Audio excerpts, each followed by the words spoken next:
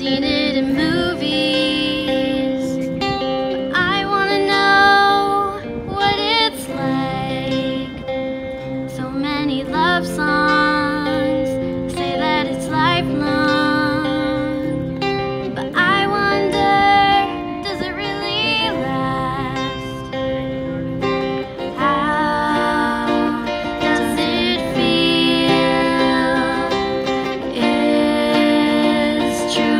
every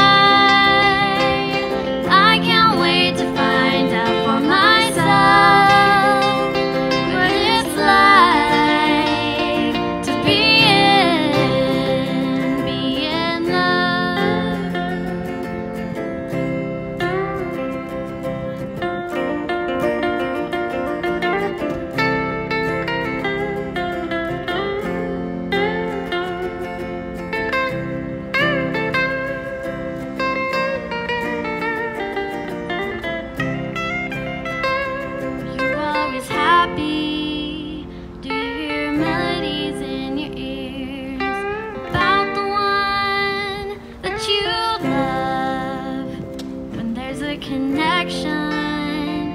Does it feel like an obsession?